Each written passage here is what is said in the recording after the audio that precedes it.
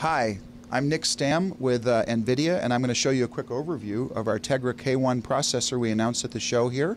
And as you can see in this uh, die shot, we've got a whole bunch of graphics cores using our new our Kepler technology. We brought the desktop graphics of NVIDIA now down to mobile, and it's very powerful. And we have also our quad core Cortex A15s and a fifth uh, battery saver core.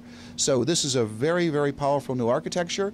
And this chart shows that we're now in track with our desktop GeForce for mobile. So this means we can have a lot more advanced graphics, games, that have you know great feature sets, DX11.2, OpenGL 4.4 APIs, our CUDA 6 API to do uh, computational sorts of parallel uh, processing, you know, uh, computational photography, and you know a bunch of uh, pattern matching and graphical uh, applications and and compute applications with the parallel processing power. 192 cores. Uh, this is a what's called an SMX unit of a Kepler architecture. So all of these cores can process graphics, uh, high performance graphics for a mobile processor. So this is sort of the, the same kind of architecture we have in the desktop. And now, what can you do? Well, Unreal Engine 4 is what you can do. So we brought Unreal Engine 4 to mobile, and you'll see games in the future that can be ported okay, that are UE4 and UE3 games down into the mobile architecture. And even Tim Sweeney, who is the founder of Epic, said he didn't think this was going to happen for at least another three to four years. So that's really, really cool. Okay, so Unreal Engine 4 is a new engine coming out. There will be a number of games coming out. They're not out yet, but they're coming. Okay, Unreal Engine 3 had like 350 plus games, so it's the most popular game engine. We're also working with other game engine vendors to bring more content into mobile that is currently PC based and you know or console based. It'll be much easier for the developers to port and bring that to mobile, bring those games to mobile because of the API support and the performance. So this is sort of the quality of graphics we'll see on a mobile device today. Here's a living room rendered. It's pretty flat looking. The lighting is not that exciting. Uh, the textures are sort of flat. And here's the kind of rendering we can see now with Tegra K1. Okay, and you'll see here there's all kinds of lighting. Um, we have what's called deferred rendering, and I can show this demo to you out in the booth or in here. We'll, we'll get actually show it to you live, and we'll, navigate around. But the textures on the couch, the floor, the lights, the reflections, the HDR lighting, um, adaptive lighting, adjust like your pupils adjust to light as you move around the environment. It's really cool, and this is a UE4 based demo.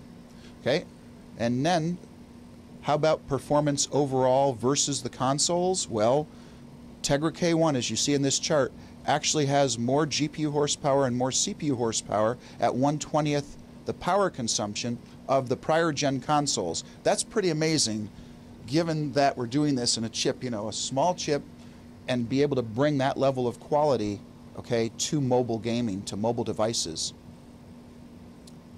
Now, not only do we have the 32-bit quad core coming in devices in Q2 of 2014, we also have a dual core 64-bit version of Tegra K1 that will come in the second half of 2014, okay? And this is using our own CPU architecture based on ARM v8 architecture. And we talked about Project Denver about three years ago at CES. Well, it's coming to products this year. Two very, very high performance cores, seven way superscalar.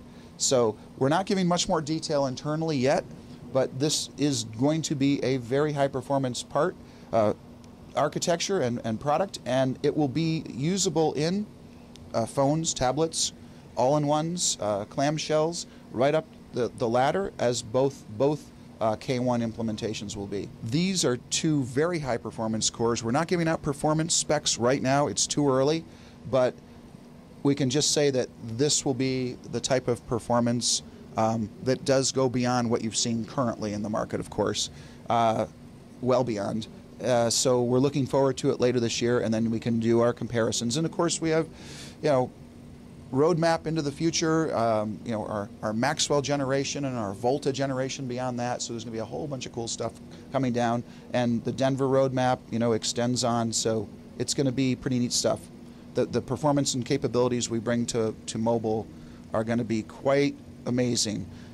And not to mention just the computing side, you know, phones and tablets and, and um, PCs, laptops, or, or sorry, clamshell devices, all in ones, but also automobiles.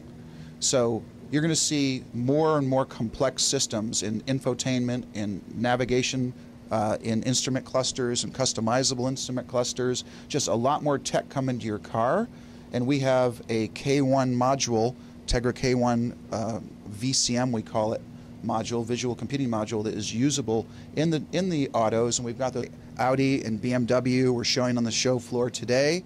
Um, and there's many other vehicles we're in uh, that uh, have Tegra or you know, NVIDIA technology. Um, Tesla, uh, you're familiar with Tesla, the electric vehicle. We're in VW. Um, we're in a lot of high-end cars too, Lamborghini and Bentley. I wish I had those, but uh, so there's a lot of uh, great stuff happening in auto technology with the Tegra tech, with Tegra processors. So well into the future.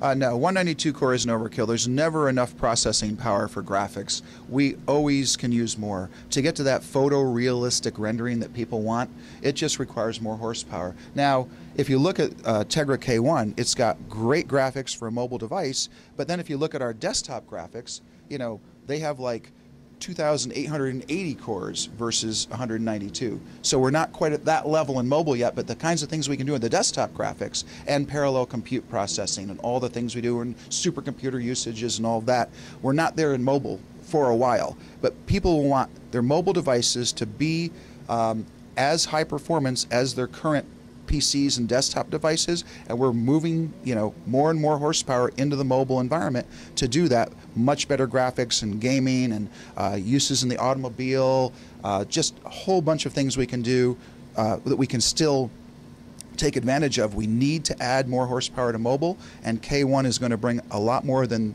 the users have, have ever seen before in 2014. So it's going to be cool.